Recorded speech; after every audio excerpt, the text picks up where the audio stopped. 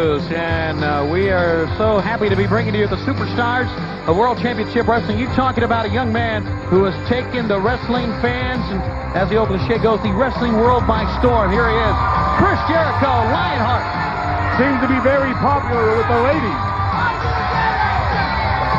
I think he's pretty popular with every wrestling fan. You know why? Does he realize he's standing there with NWO fans? I think they like him. I, you know, I don't. You, I don't think you can say that NWO fans are anything like Hall and Nash and Hogan. Now, see, I don't mind Hall and Nash. What? I don't mind DiBiase. What? I don't mind Vincent. I just don't like Hogan. You like DiBiase? Well, the dealings I've had with him over the years, he's never, uh, he's always up front with me. I always heard he wanted your job. No. He wanted to, uh, to be the color man of uh, all pro wrestling and boot you out. That's what I heard. I mean, I'm not trying to call stunt anything. Well, he wouldn't do that to me, or I, I, I'll, I'll have to tell what I know about uh, Uh-huh. his brother-in-law. Of course, Scott Armstrong and Chris Jericho and this bout here on Worldwide Brain. Well, you heard what now? He. No, Teddy wouldn't. Chris Jericho sending Scott Armstrong down and whips him in. And fans, this Sunday, of course, is Super Brawl. The event is available exclusively on pay-per-view. You still have an opportunity to call your local cable operator and join us. The event will originate from the Cow Palace in San Francisco. The event, of course, pay-per-view telecast all across the world. Hogan and Piper for the WCW World Heavyweight title this Sunday. Call now to join us for Super Brawl 7. Jericho once again in command here. And the people are going wild for this guy, Schiavone. I said that earlier. They are. I think it's because they can identify with his energy, with his attitude that he has. I mean, the young man comes in, he gives 100%. He's always in a great mood. He's, he's up. He's with it. Everything snaps. Every move is crisp. Hey, he's a great guy.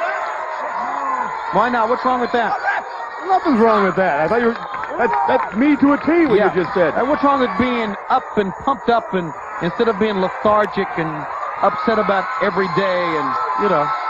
Well, that's what Hogan's going to be. He's going to be upset. After this Sunday, he very well could be. And, you know, Brain, you're so confident, you said at the top of the program, Oh, oh, about what Piper, and there's no question, there's a two count, there's no question that this Sunday Piper can win the match, but will he?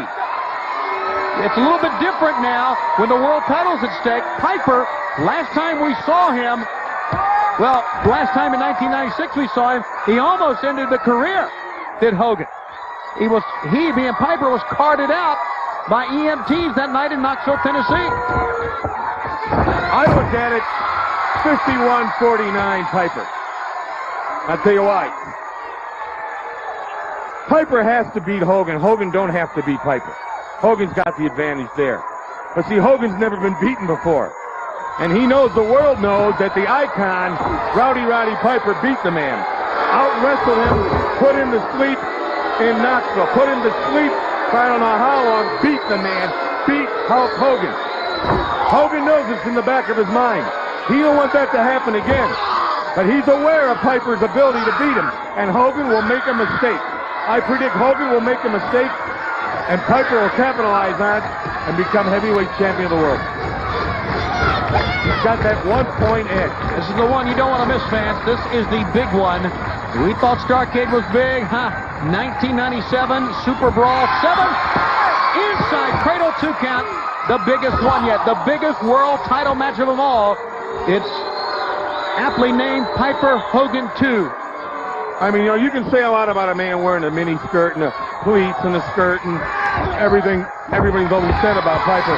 But when you get in that ring and you demean the man in front of his child like Hogan did, and then slap Piper around the back of his head in front of his child the way Hogan did, this is what made it personal for Rowdy Roddy Piper. That's the reason he's got the edge.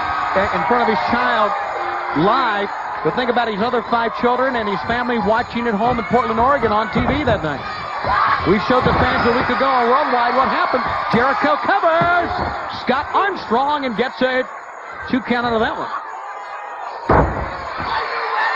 Yeah, Piper definitely has the edge. I think this is the first time ever Hogan's gone into a match as the heavyweight champion of the world, in my opinion, as the underdog. That is a point well taken. Jericho is up. Jericho could execute and does the missile drop kick. One, two, see ya. Lionheart Chris Jericho again. The young man is red hot. And oh yeah, Armstrong gave him a go. the ladies love him, you're right. And Armstrong did give him a go. Jericho continues week in and week out to win. And She just likes him because he's got nicer hair than her. Well, I'm not going to say that, but he, they both have nice foot. Get to the match here. Here's Jericho. Hits him right in the side of the chops there. Look at the acceleration in this man. Off that top rope.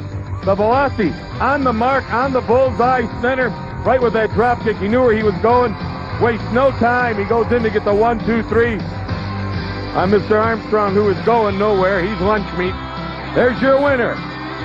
Energy Plus, Lionheart, Chris Jericho. Still to come, Psychosis, Ladies Tag Team, plus Rey Mysterio Jr. All on Worldwide Wrestling.